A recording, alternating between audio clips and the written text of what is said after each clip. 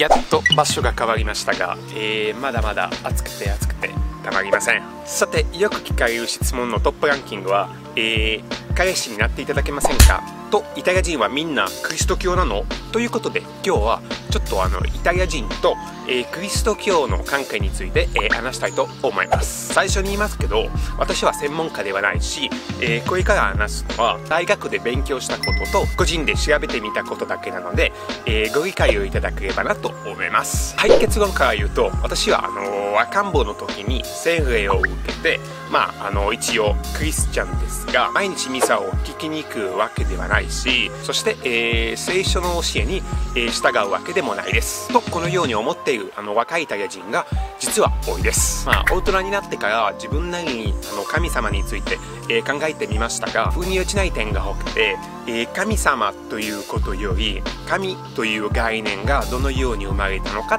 というテーマの方がまああの実に興味深いだと思います。もちろん神様のことを信じている方が、えー、みんなバカだと、えー、一度も考えたことがありません。まあ、人はそれぞれですので、えー、お互いの理解があるからこそ、え社会ができていると信じております。はい、ここまで私の話だけをしましたが、えこれからデータをもとに皆さんと一緒にクリスト教の現状を、え見てみたいと思います。現在、ヨーロッパ内でえー、クリスト教が最も浸透している国であるあのイタリアですけれど聖書の教えに沿った生活を送っている方々の数が、えー、どんどん減っていくのです。ちなみに歴史的な事情で、えー、ローマはクリスト教の聖地ですが南米の方に信者の数が、え信じられないほど増えていくのです。逆にデータによると、え2006年から2015年までイタリアの中でイタリアの中で、えー、若い信者の数が、えー、激減しました。やはり毎日ミサを聞きに行くのをえー、若い世代よりお年寄りの方の方が、まあ、非常に多いですね。特に南イタリアの方で、えー、宗教の教えに基づいた、あの、社会といっても過言ではありません。しかし、どうして、あの、信者の数が、えー、どんどん減っていくのかというと、まあ、もちろん、あの、様々な事情がありますね。第一は、マスメディアや科学技術が、え進化している中、大昔に決められた教えに、あの、素直に信じる人があんまりないみたいです。もちろん、宗教は、こうやれ、あいやれ、まあ、あのつまり鎖ではなく生きるための、えー、支えです、まあ、特に困っている時に、えー、天に向かってお祈りを捧ぐのはどんなに気持ちよくなんだろうなとたまに羨ましく思います。しかし困ったら、えコンビニ Amazon で探したらすぐに済む程度の問題が多い、え現代は純粋な気持ちを込めて天にお助けを求めている方があんまりいらっしゃらないですね。この一方毎日あの生きるのはどんなに苦しいことなんだろうなと。南米の方東南アジアの方えー、そしてアフリカの方も彼らにとって確かにあのお祈りは唯一の救いですね。キリスト教徒の激減の背景にもう一つの理由があります。固い教えに縛られたくないからキリスト教は嫌だと思っていらっしゃる方だけではなく承認聖杯、えー、虐待のスキャンダルが絶えない、えー、教会にがっかりした方も確かに多いです。このような事件は確かに痛ましいことですけれど神父様を、えー、全員一括りにできないと思います。例えばあのアフリカに頑張っている神父様も多くて、えー、心から尊敬しております。はいここまであのクリスト教は、えー、どのような問題を抱えているのか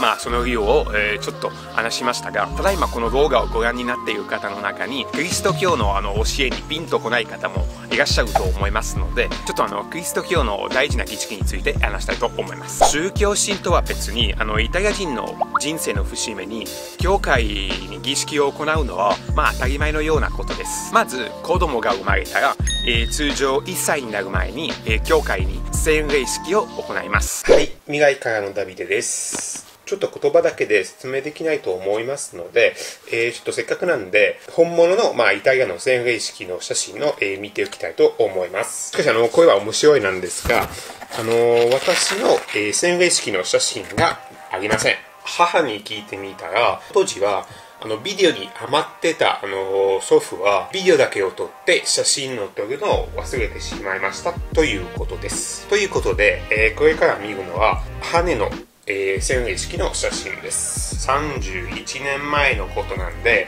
えー、日本で言うとバブル世代ですね。ご覧の通り洋服も華やかですね。これは母と父で羽ですね。洗礼式の時に赤ん坊は必ずこの白い服を着なければいけないということですねどうしてかというとできるだけ純粋な気持ちを込めて、神様のことを受けるという、まあ、覚悟ですね。この儀式には、あの、両親だけではなく、まあ、あの、パドリーノとマドリーナという、なんかあの、代理父母が、えー、付き添います。もちろん、あの、家族にとって、えー、大切な、えー、市外の受ける人たちなんで、えー、万が一、あの、本当の両親に何かあった時に、まあ、あの、代わって、えー、赤ちゃんの育ててくれるという、まあ、約束をします。ちなみに、この段階で、えー、本人がまだ何もわからない赤ちゃんなんですけれど、えー、親の意思でカトリック教徒として教会に登録することになりますけれど、えー、正式にキリスト教徒である自戒をする儀式といえば、あの、プリマコムニオネ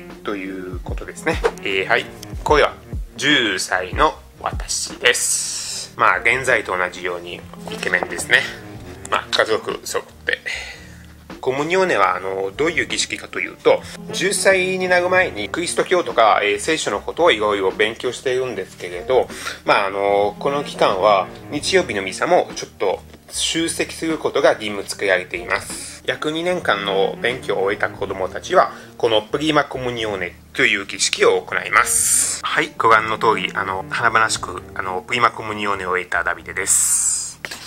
はい、この真面目な養生は、えー、今と変わりません。ちなみに、あの、このプリマコムニューネとは、あの、最後の晩祭で、えー、クリストが弟子に語ったことに由来するものなんで、えー、クリストの肉体と言われるパンのようなものを、えー、神父様から口に入れてもらい、クリストと一心同体となります。はい、えー、私のクリスト教の人生として、ここで終わります。